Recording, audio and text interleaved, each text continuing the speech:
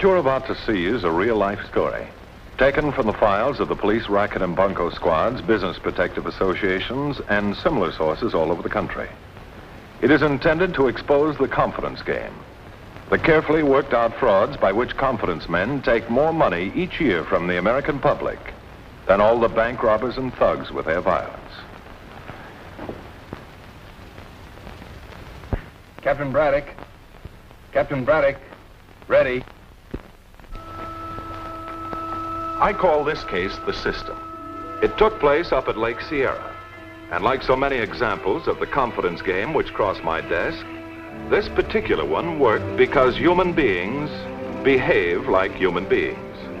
Now take Don Reardon, for instance. He was at Lake Sierra for the weekend.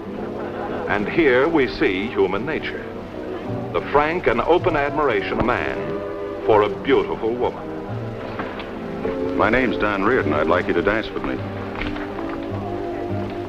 Well, if you won't, you can at least tell me your name.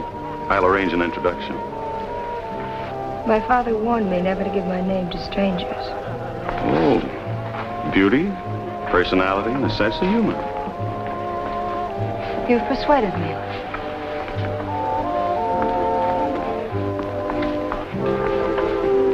That was the beginning of Mr. Reardon's adventure. The world was perfection. The night was filled with music, and the moon shone down on Lake Sierra with a blinding shimmer of loveliness.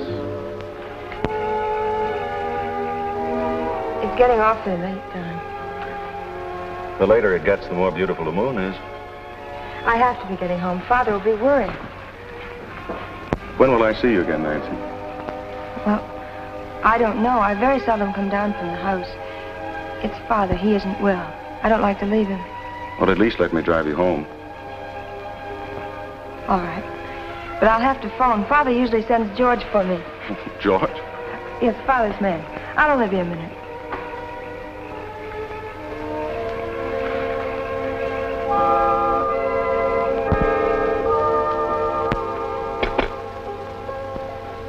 Hello? Hello, Father. You having a good time, dear? We've been lucky. Don Reardon is driving me home. Don Reardon, eh? What about him? Does he look like a good prospect? 33 years old, checked in for the weekend only, $35 a day suite, partner in a brokerage firm, and drives a brand new convertible. Sounds too good to be true. Bring him around and I'll look him over. We're going to leave right away. Make sure George has the guest room ready.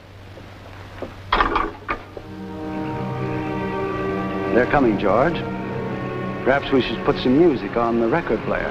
Did you have any special music in mind? Well, let's see. What would you suggest? Tchaikovsky? Tchaikovsky's excellent for the older ones. But a young man. Prokofiev. Put that on. He might like it, and I'd enjoy it thoroughly. And get my props. I must give a very convincing performance tonight.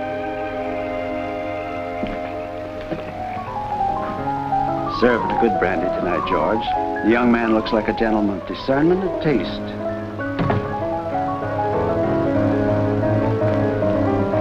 Hello, Father. Nancy, dear. Father, this is Don Reardon. Mr. Reardon, this is a pleasure. Happy to meet you, sir. Will you sit down? George? Brandy. Yes, sir. And now, Mr. Reardon, perhaps we can have a little talk. You know, my daughter doesn't often bring her friends home. I find that a little hard to believe, sir, considering how attractive she is. I should think that uh, she'd have a great many friends. I see you have a sense of humor, Mr. Reardon. But I'd like to know a little more about you. Tell me about yourself. Well, sir, it's yeah, that's very clever. Well, I think I'll see how George is doing in the kitchen. Excuse me. Oh, perhaps I'd better be running along. You, uh, say you're spending the weekend at the hotel? Well, yes, until Sunday night. Well, Nancy and I are very lonely here. I'm not very well, and she doesn't feel that she can leave me very often. I'd consider it a great honor if you'd consent to be our guest for the weekend. Well, how would Nancy feel about it? The child gives up a great deal to be with me. I like to see her have a good time.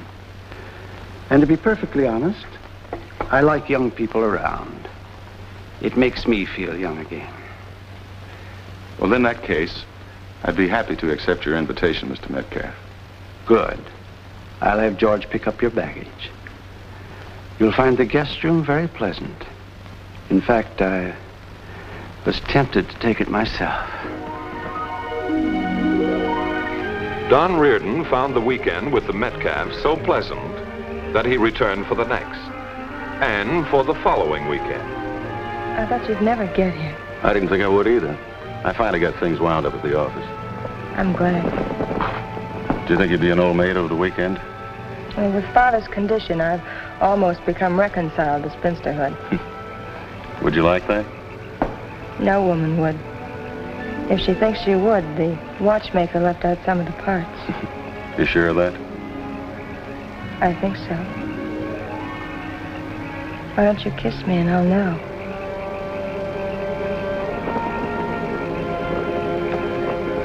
We'd better get to work, George. It's the little touches that set up the pigeons. I'd say it's about time for a midnight snack. An omelet with chives, whole wheat bread, with plenty of butter, and some of your very best coffee. Right now? Yes, right now. In a moment, Mr. Reardon will realize he's kissing a young lady in full view of her father. He'll be embarrassed and come in.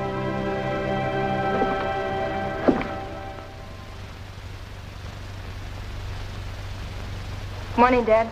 Good morning, my dear. Have you had your breakfast? Hours ago. Don and I are going for a swim now. Good. That'll give George and me a chance to go on with our work. Good morning. Good morning, Mr. Metcalf. Did you sleep well? Like a baby, George fixed us a wonderful breakfast. Come on, Nancy, let's go swimming. Just a moment. You certainly aren't going swimming with your watch on. Oh, thanks. I ran several watches with that stunt. Well, have a good time. George, we almost had a slip-up. The young man was wearing his watch to the beach.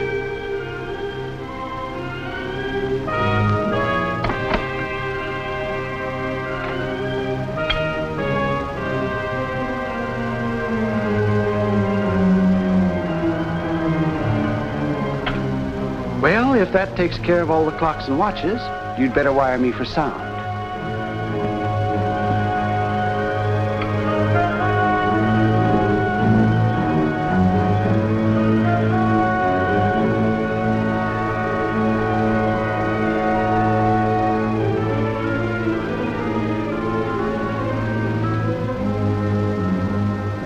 Could easily lead to frustration, George.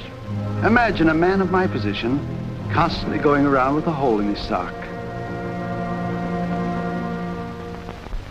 At the sound of the chimes, the time will be exactly 1.30. And now the results of the first race at Del Mar. The winner was Abigail. Flyaway was second, and Mirror Image was third. Now, just what is your line of business, Mr. Metcalf? You've never told me. My line of business? Well, it's not easy to explain. You see, I haven't worked for over 25 years. Oh, retired? Well, yes, you could call it that. Well, you've certainly picked a beautiful place here for your retirement. Well, I can't honestly say it's retirement. Actually, I've made a very comfortable living for the past 25 years, but not by working. What have you been doing, Mr. Metcalf? Robbing banks? Well, no, not robbing banks, but I've been doing something some people might think just as bad. I've been playing the horses. Are you telling me that you've been making a living betting on horses? That's right, and a very comfortable living. I was under the impression it was practically impossible to make a living from horse racing. Unless you happen to be a horse. Well, I don't blame you for being skeptical, my boy. I'd be disappointed in you if you weren't. Well, I'm skeptical, all right. All the way. In spite of your skepticism, I can only say that I've made a living for 25 years placing bets. Do you mean that uh, you've worked out some sort of um, betting system? Exactly. A system. A system that took years of study to make work, but it works. It works well enough to keep Nancy and me in very comfortable circumstances, as you can see for yourself.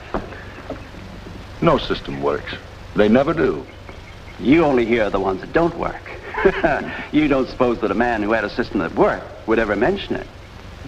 What time do you have? 127. Suppose we go inside. We should be able to get the results of the first race at Del Mar in a few minutes. Hmm. A square plus B square divided by 2 pi r square equals the square root of n. A square plus B square divided by 2 pi r...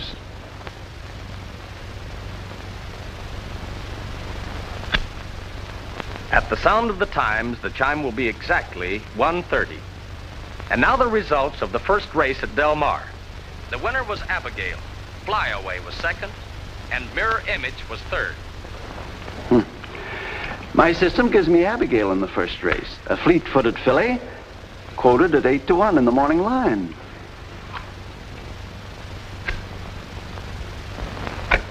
At the sound of the chimes, the time will be exactly 1.30. And now the results of the first race at Del Mar. The winner was Abigail. Flyaway was second, and Mirror Image was third.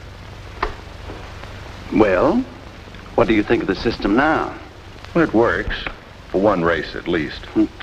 Suppose we try it in the next race. Here, you pick a horse, and we'll let the system pick one. Oh, fine. You mind if I use the hat pin system? So they played a little game that afternoon. As the results of each race came over George's radio, he piped them into his employer's ear by way of the hearing aid. Thus, Metcalf could take advantage of the half-hour time lag they had set up to pick his winner for the next race. Then, at what seemed to be the correct time, George would rebroadcast the results from his tape through Metcalf's radio. Of course, Metcalf let his system miss a race, just to make it convincing. Mr. Reardon was convinced, all right. Well, this certainly beats a hat pin system. Are you two still talking horses? Well, it's fantastic, unbelievable. Your father picked up on winners out of the last eight races. Father always picks winners. It takes all the fun out of betting on horses. Now you've seen why I gave up working 25 years ago. Well, if you two are through playing, I would like to go swimming. Playing? This isn't a pastime, it's a career. But understand, my boy, I don't always get seven out of eight. I've missed as high as three races on one card. Well, even that's 12.5% to the good. Well, your system's worth millions. No, that's where you're wrong. The system works. It provides a good living. But if I were greedy, that would be the end. What do you mean? I'm always very careful. I never win more than so much from any one bookie. And I never bet at the track because that would pull down the odds on the pari-mutuel machine. And if I were greedy, the bookies would stop taking my bets. And I never tell anyone that I bet by system. Oh, one man has to be careful. He couldn't afford to be greedy. But two? Why, they double the take. Don, I want to go swimming. Go ahead, my boy. Go swimming with Nancy. We can finish our discussion later. Oh, all right, I'll go change.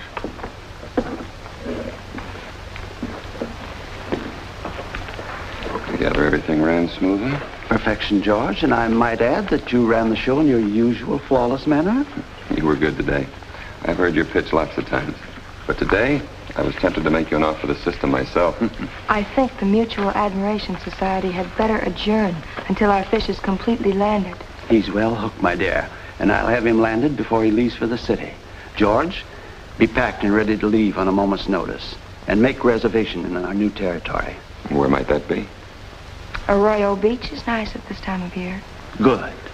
And you, my dear, see that our fish doesn't wear his expensive watch when he goes in the water. We've got to reset it so he'll know the right time.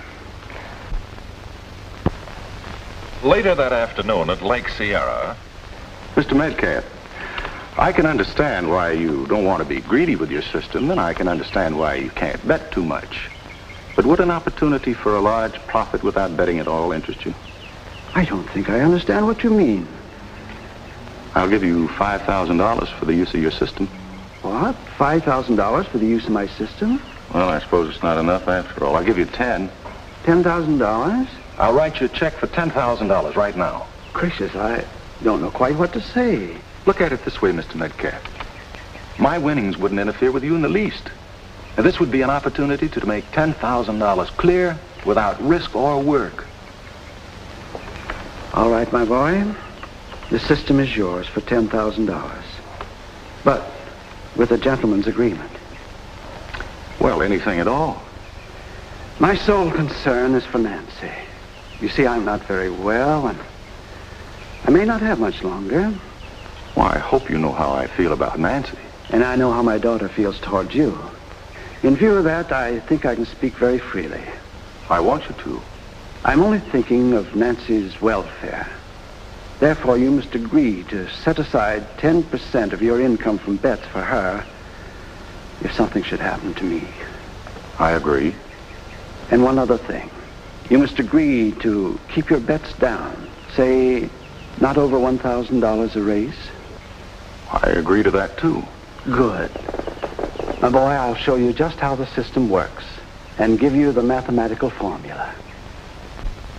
Sorry, Captain Braddock. And before you say it, I will. I was a fool. I've never been such a fool over a girl in my whole life. Let's be realistic about it, shall we, Reardon? The young woman led you into a trap, all right. But what really made a fool out of you was any man's desire to make money. And Metcalf showed you what appeared to be a delightful way of making it. Only the system didn't work. I dropped another 5000 finding it out. What's worse, I don't know how they tricked me into believing it worked. Well, it's not easy to see if you really wanted to believe it worked. But take my word for it. Metcalf knew the winner of the race before he told you the name. Yes, but we heard the things over the radio. He always picked the winners before the races. According to whose watch, Reardon, we'll go to work on this right away. Well, if there's anything I can do to help, please let me know. Well, there is something you can do. If you locate them before we do, contact this office immediately. Uh, pretend you haven't tried the system. Anything, just so that you have a chance to call me. Yes, sir. I'll do exactly that. Good. He did locate them before we did, in a pleasant little resort called Arroyo Beach. Goodbye. Nancy ran into Reardon. I'll start packing. No, no, no, no, no. She says he doesn't know that the system won't work. George, this is manna from heaven. Our little pigeons return for some more plucking. How do we do it? Very simple. We'll use the system again. He'll make bets. You pretend to rush the checks to the bookie, but keep them. With the system and the setup, we'll make sure that he bets on every loser. Okay, so he drops his money. Now he knows the system don't work. Oh, no, no, George. You don't understand human nature and the sucker psychology. With the system, we'll have him bet on the horses that always come in second. Oh, I get it. That way he figures the system's a little off, but still pretty good. That's right. Then later I'll find a small error in his calculations which accounts for it. We'll take him for the afternoon. Then you can start packing. It might work, but I don't like it. George, has my ingenuity ever failed us?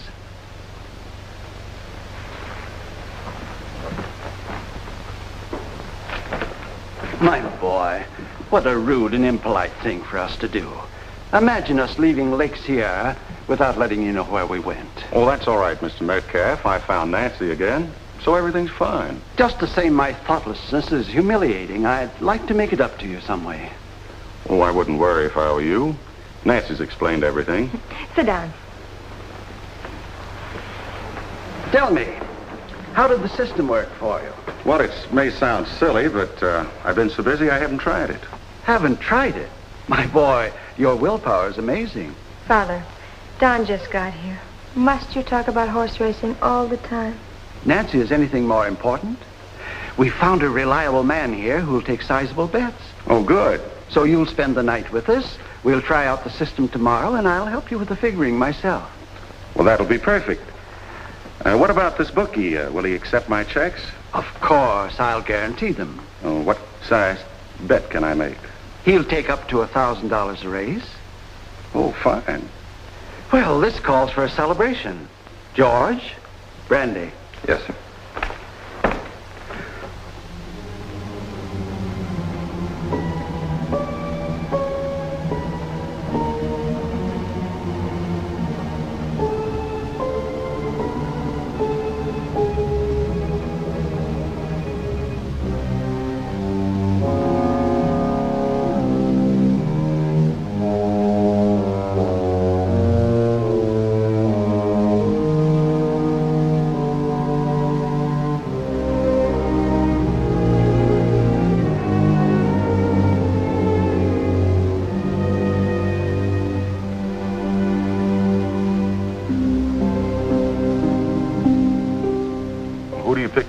The race, Mr. Metcalf? I'll have it in a moment. Here's a sports bulletin. The first at Del Mar was off at 2.08. The winner, Fancy Dan. Place, Songbird. Make it Songbird. Well, that's who I picked, too.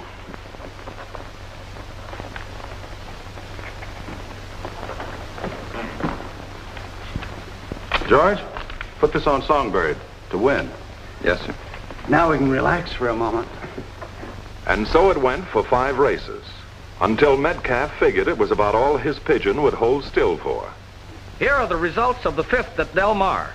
Crimson Bride was first, Sweet Violet second, and Good Grief was...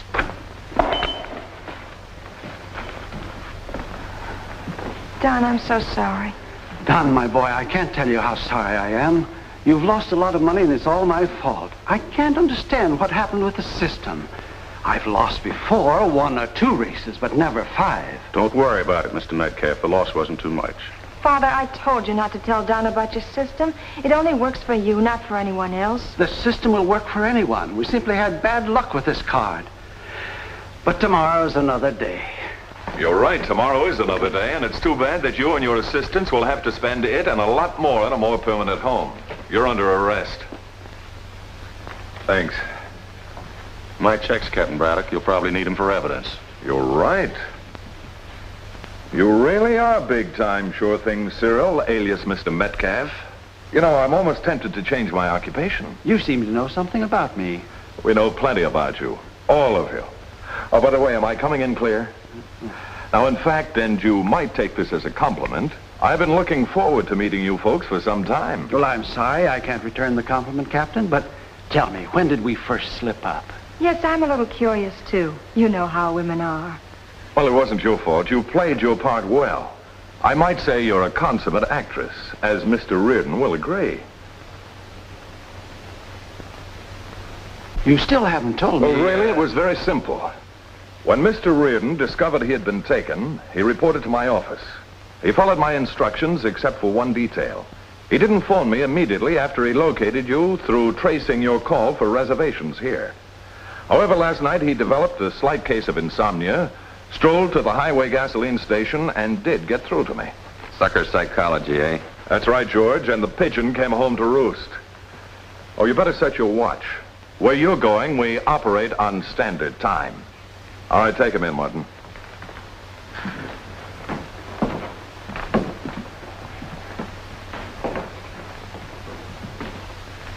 Because Don Reardon reported this matter to this department and cooperated fully with us, we were able to take Sure Thing Cyril and his two clever operators out of circulation for a while. Now, should you or any member of your family come in contact with this or any swindle, report it immediately. Remember, it could happen to you. I'm closing this case now, or rather the courts will, but there'll be others, because that's the way the world is built. Remember, there are people who can slap you on the back with one hand and pick your pocket with the other. And it could happen to you.